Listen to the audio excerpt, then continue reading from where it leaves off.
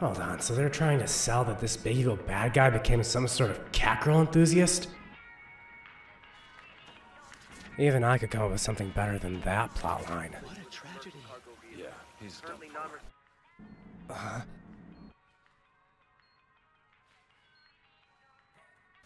The driver of the truck was uninjured.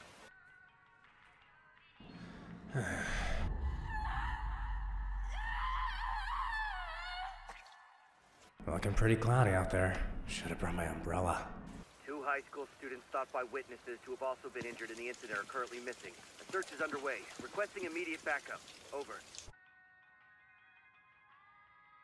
Hmm, nah, maybe this one instead. Well, that's what you get when you play Elden Ring for 65 hours straight.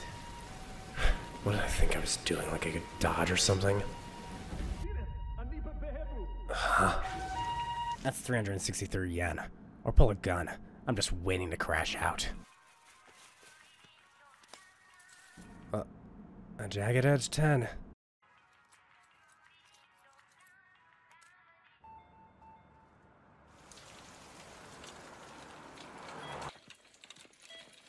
Sir, can you hear me?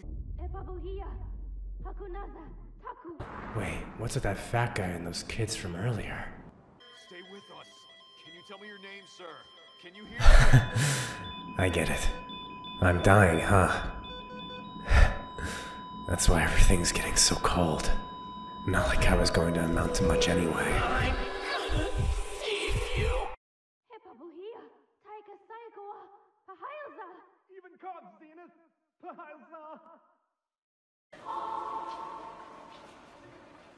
Ugh, ah, my eyes, that's way too bright. What is this, Discord light mode? Huh? Who's this guy? What language is that? Whoa, whoa, whoa, hey! Buddy learned a personal space ever? We're in a hospital. This isn't. Don't look at me like that. I don't like that. Oh, God, that's so. No! Ugh, gross, gross. Burn my. Burn it off. Oh. Uh, hey there. Um, that is a very well endowed nurse. Why, why is she looking at me like that? You know, I'm seriously injured here, guys. I don't. Hello? Yeah. What is happening? Okay, that's just rude. I do not appreciate that. I'm gonna talk to someone about this, especially your boss. What are you smirking at? I'll have you know I'm a. Huh? Huh?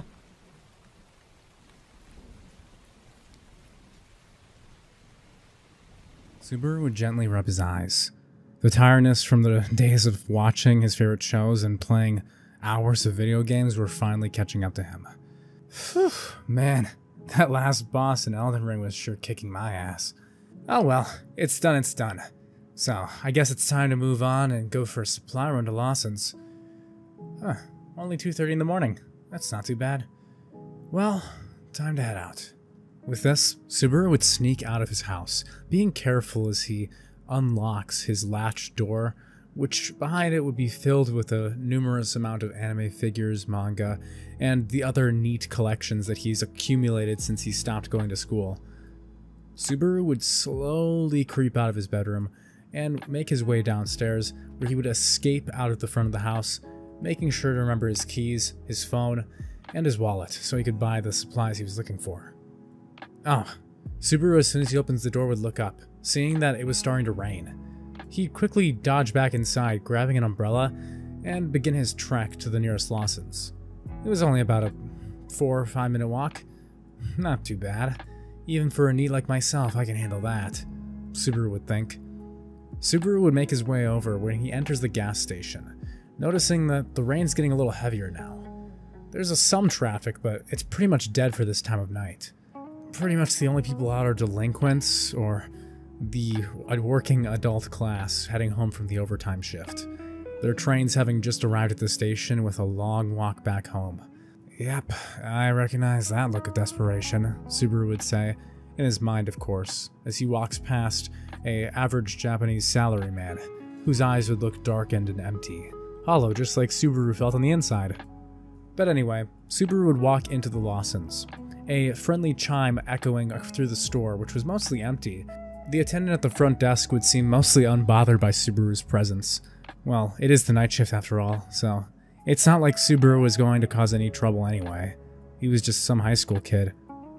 Subaru made his way over to the snack section, grabbing a bag of potato chips and looking through some other goodies. After deciding what his snacks for his next game binge would be, he would throw them on the counter, dropping a 500 yen note with it. Subaru would get his change, with there being a special lucky coin that he would receive back. He'd laugh, flicking it up and then throwing it back into his pocket as he grabs the plastic bag, walking back towards the store entrance. But something would catch his eye. As he looks to the right, he would notice the magazine section, which he had somehow missed in this original stream of events. Once again, Subaru would be drawn towards the weekly manga section, taking a look, but something would catch his eye. Subaru would look up, realizing that there was something weird going on outside. He saw a rather large, rotund man, and two high school kids. What were they doing out at this time of night? The rain was getting heavier. Drops of rain pelted against the Lawsons, the glass sliding down the glass side as Subaru would see his vision becoming distorted, looking out at the scene. Suddenly, he'd see on the right hand side as he holds his hand up, looking at the bright lights, a truck driving at way too fast of speeds. Is the driver asleep? Before he can even process this, Subaru would drop everything in his hands, lunging out of the front door and full sprinting, yelling as loud as he can, saying, Hey, get out of the way! But it would be to no avail. In front of his eyes, he would see the older, large man pushing the high schoolers out of the way as the truck is about to hit him. But Subaru goes into a tackle, pushing the fat guy out of the way and throwing him on top of the kids. Subaru would think he has just enough time to get out as well when he pushes his foot against the ground, his foot sliding on the water, the puddle rippling as he falls flat on his face, looking up just in time to see the lights of the truck ramming into his body. A sickly snapping sound would fill the air as Subaru's body gets rammed into by the truck at full speed. Subaru Natsuki's blood would spurt across the pavement. Subaru would try to speak but could only feel blood gurgling down his throat. As the 40-somethings guy and the two high schoolers would come running over, shaking Subaru as the ambulance arrives. All he could hear would be the alarms, the sirens, his vision flickering in and out between a hospital room and the dark depths of his consciousness.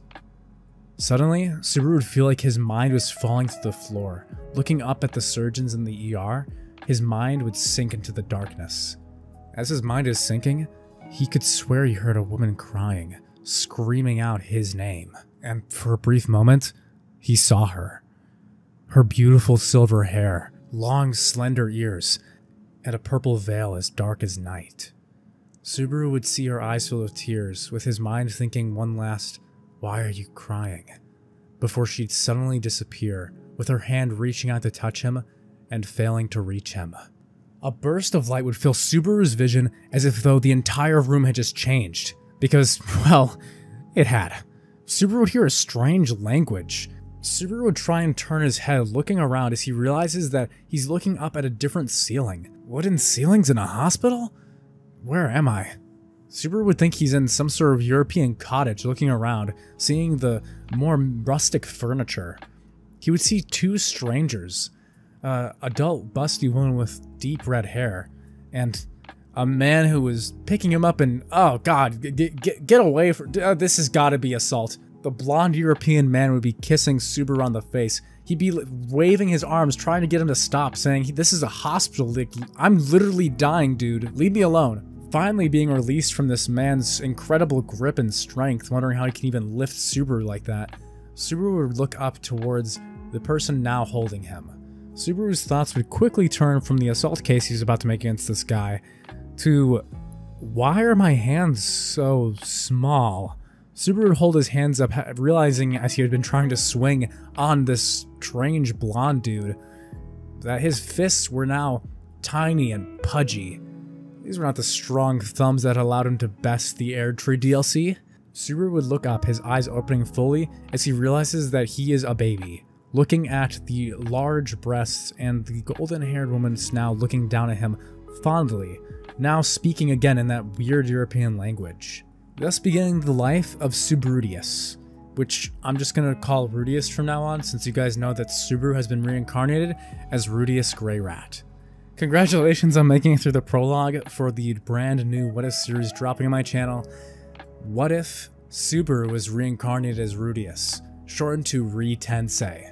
A crossover isekai what if between ReZero, which I've covered on the channel before, and Mushoku Tensei, which I did make a video talking about the argument between Paul and Rudeus like almost two years ago now when it came out.